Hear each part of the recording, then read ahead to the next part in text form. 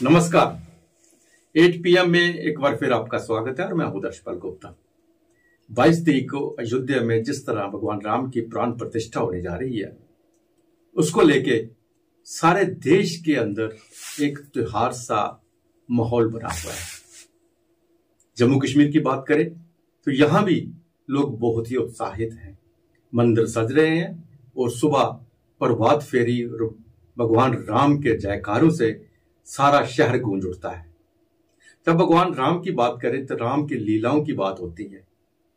तो राम लीलाओं का मंचन जो है जम्मू में बहुत मशहूर है।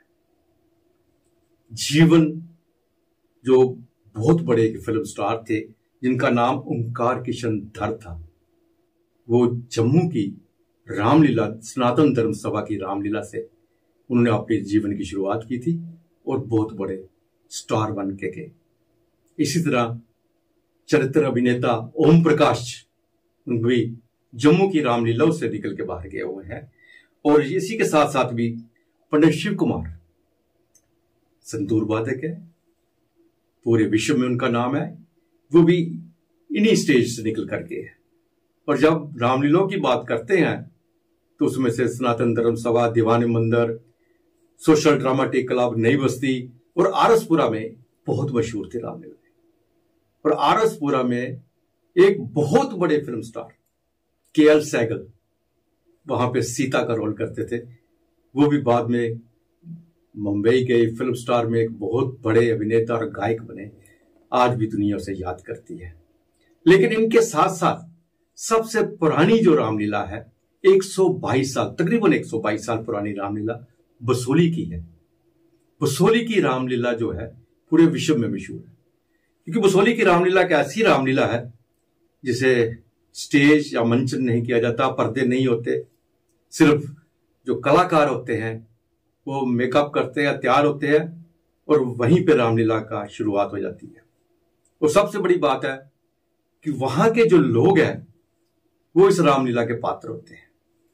लेकिन सबसे बड़ी जो खबर मैं आपको देने जा रहा हूँ, कि बसोली की रामलीला जो है प्राण प्रतिष्ठा के अवसर पर अयोध्या में इसका मंचन किया जा रहा है।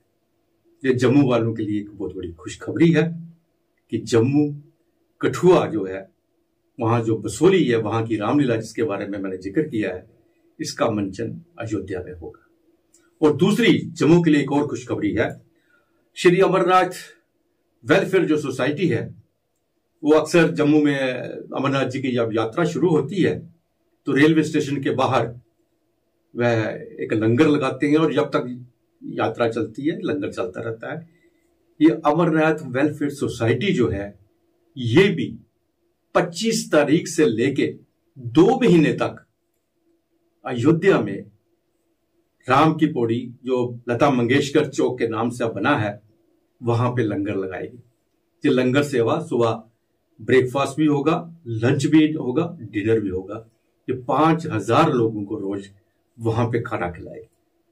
इस बात की सूचना हमें इसके चेयरमैन जो इंजीनियर किरण वातल है, उन्होंने अयोध्या से हमें दी है और साथ में ही उनके प्रेसिडेंट जो है, अनिल गुप्ता और जनरल सेक्रेटरी ओम प्रकाश, इन दोनों वहाँ पे गए हुए हैं।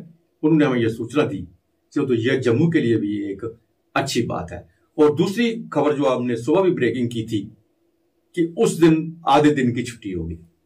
जिस दिन प्राण प्रतिष्ठा होगी, ताकि मंदिरों में लोग जा सके, भगवान राम को वहाँ पे भजन कर सके, उनका दर्शन कर सके, और अयोध्या का जो नज़ारा है, वहाँ पे मंदिरों में बैठ के या अपने घर में बैठ के भी दिख सके। तो आइए अब नज़र डालते हैं आज के समाचारों पर।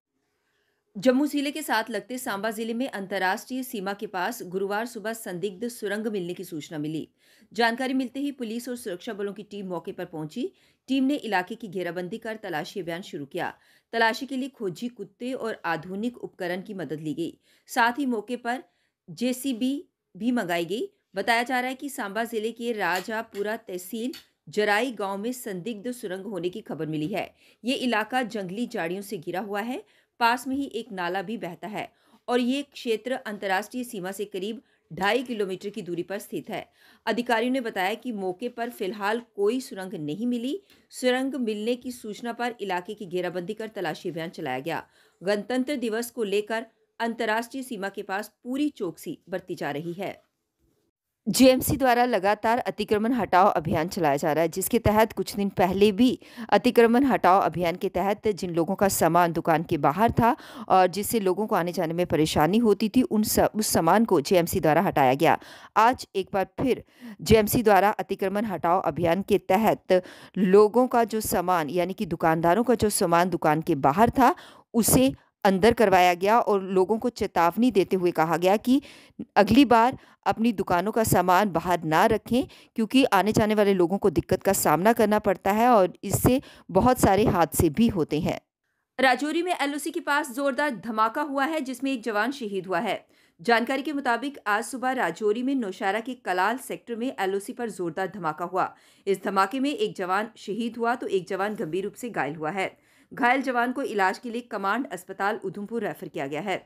हालाँकि अभी तक धमाका कैसे हुआ, इसके पीछे किसका हाथ था, अभी तक इन कारणों का पता नहीं चल पाया है। फ़िलहाल पुलिस मामले की जाँच पड़ताल में जुट गई है। उत्तरी कश्मीर के कुपवाड़ा ज़िले में श्रीनगर चौकीबल राजमार्ग पर चौकीबल के पास आईडी भी बरामद किया गया। सेना की चिनार कोर ने एक्स पर पोस्ट में कहा है कि चिनार वॉरियर्स ने श्रीनगर चौकीबल राजमार्ग पर चौकीबल के पास एक आईडी को बरामद करके और उसे उसी स्थान पर नष्ट करके आज एक बड़ी आतंकी घटना को टाल दिया। भारतीय सेना कश्मीर को आतंक मुक्त रखने की अपनी प्रतिबद्धता पर कायम है। 22 जनवरी को अयोध्या में रामलला की प्राण प्रतिष्ठा समारोह के उपलक्ष्य में जम्मू शहर में उत्सव की तैयारियाँ चल रही हैं। शहर के विभिन्न धार्मिक स्थलों पर, जैसे बावे वाली माता मंदिर, श्री रघुनाथ जी मंदिर, शिव मंदिर आदि अन्य मंदिरों में भव्य उत्सव का आयोजन किया जाएगा। इससे पहले मंदिरों में सफ़ाई अभियान भी ज़ोर शोर से चलाया जा रहा है। इसके अलावा कई संगठनों ने भी लोगों से इस दिन को दिवाली की तरह मनाने का आह्वान किया है। शहर के प्रसिद्ध श्री रघुनाथ जी मंदिर में चार दिवसीय भव्य उत्सव का आयोजन किया जाएगा। 19 को सुंदरकांड के पाठ से चार दिवसीय उत्सव का आयोजन होगा। वहीं 22 को सांस्कृतिक और संगीत में कार्यक्रम आयोजित होंगे। गणतंत्र दिवस और अयोध्या में श्री राम मंदिर के प्रतिष्ठा समारोह से पहले जम्मू में सुरक्षा चाक चौबंद कर दी गई है। शहर के चौक चौराहों, प्रवेश निकास पॉइंट और शहर की ओर जाने वाली सड़कों पर नाके और मोबाइल वाहन चौकियाँ स्थापित की गई हैं। साथ ही भारत पाकिस्तान सीमा तक सुरक्षा बलों और पुलिस को अलर्ट कर रखा है। आगामी सप्ताह में गणतंत्र दिवस और श्री राम मंदिर प्राण प्रतिष्ठा समारोह हैं। ऐसे में कोई अप्रिय घटना से बचने के लिए सुरक्षा उपाय किए जा रहे हैं। सुरक्षा बलों की टीमें मुस्तैद हैं। शहर सहित ग्रामीण क्षेत्रों में वाहनों और राहगीरों की जाँच की जा रही है।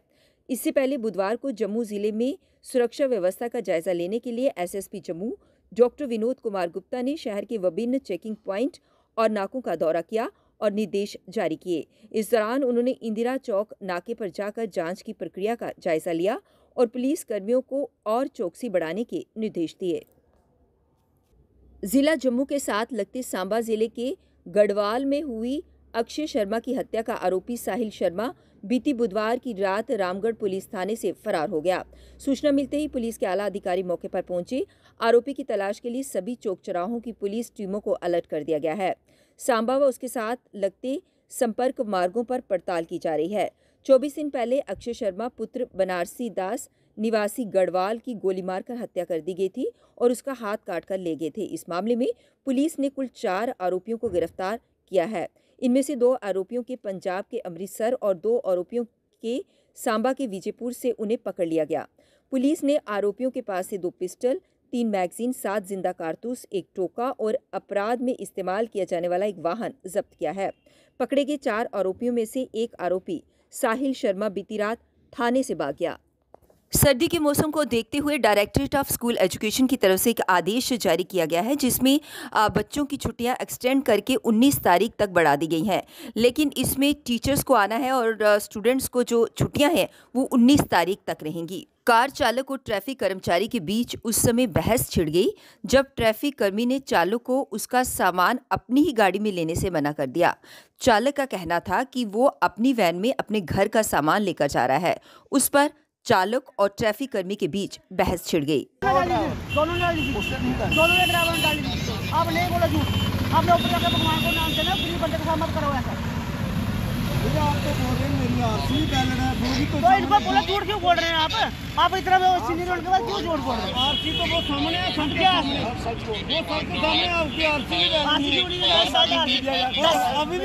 दस साल दस साल के बाद दो हज़ार दस मर्डर मेरी बात सुनो पंद्रह साल कितना होता है?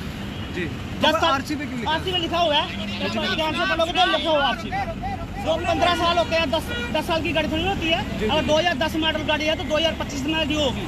तेईस चल रहा है। चलिए जनाब ये पूरी तस्वीरें हमने आपको दिखाई और एक आदमी को रोका गया और उसके बाद उसने ये कहा गया कि उन्होंने सीट बेल्ट लगाई गई थी लेकिन उसका ये साफ़ तौर पर कहना गणतंत्र दिवस की तैयारियों की सुरक्षा हेतु हर आने जाने वाले की गहन जाँच की जा रही है और खासतौर पर स्टेडियम के अंदर हर वाहन की चेकिंग करके ही उसे अंदर जाने की अनुमति दी जा रही है। ये देखिए जनाब डिपार्टमेंट का हो, चाहे कोई भी आदमी हो, पूरी जाँच के बाद ही हर आदमी को जहाँ से छोड़ा जाएगा।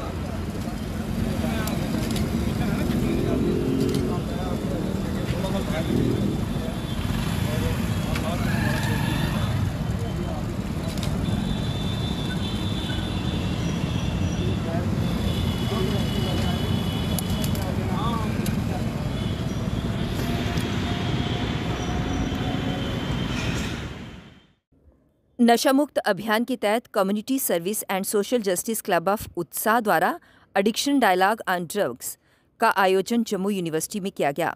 इसका मकसद ड्रग्स से हो रहे दुष्प्रभाव से छात्रों को जागरूक करना था। इस मौके पर Harish Kumar, assistant director, narcotics control bureau ने अधिक जानकारी साझा की। उनको सपोर्ट देते हैं और घर में बच्चे होते हैं, उनको सपोर्ट देते हैं। तो वो पूरा एक परिवार का ही नहीं, बल्कि पूरे राष्ट्र की बैकबोन है। राष्ट्र के जो ह्यूमन रिसोर्सेज हैं उनमें उनका प्राइम रोल है क्योंकि वही आगे चल के देश को भी चलाएँगे।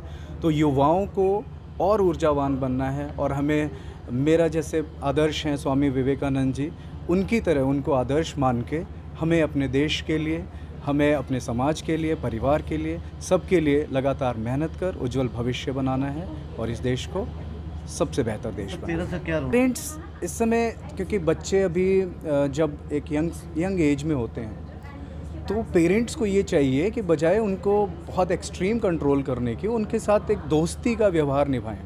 उनके साथ बैठें टाइम दें उनको समय दें। हाँ, मैं जानता हूँ कि आज के टाइम पे स्ट्रेसफुल जॉब्स हैं सब लोग बहुत रात दिन मेहनत करते हैं और जॉब कल्चर में काफ़ी स्ट्रेस है। मगर उस स्ट्रेस को घर तक ना आने दें और अपने बच्चों के साथ दोस्ती का व्यवहार निभाएँ, उनके साथ पूरा दिन क्या हुआ, उनके साथ चर्चा करें। और अगर कहीं पे कोई समस्या नज़र आ रही है बच्चे का, जैसे ग्रेड्स या पढ़ाई में कहीं अचानक मार्क्स कम हो रहे हैं तो उसके तह तक जाने की कोशिश करें। बच्चों के साथ जितना दोस्ती के साथ रहेंगे, उतना ही वो आपको बताएँगे कि कहीं उनको किसी तरह का गलत एनवायरनमेंट तो नहीं देखने को मिला या कहीं वो उसमें पढ़ तो नहीं गए हैं। तो मैं ये कहूँगा पेरेंट्स को कि नज़र रखें कंट्रोल कल आठ बजे फिर आपसे भेंट होगी, तब तक इजाज़त दीजिए। नमस्कार।